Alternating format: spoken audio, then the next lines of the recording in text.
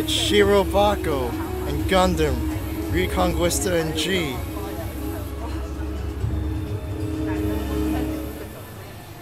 And Psycho-Pass too. And look, look even over here. Parasyte and Shingeki no Bahamut Genesis and Log Horizon. Look, they even have like stuff I don't even watch. Woo. Look at that. That's the new um, one from Ghibli, is it? This is friggin' awesome.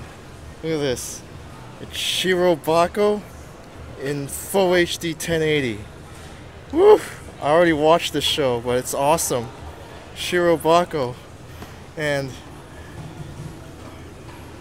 oh my, the universal century with its history of colonization and wars passes into posterity and time flows on. Mankind enters a new age of seemingly.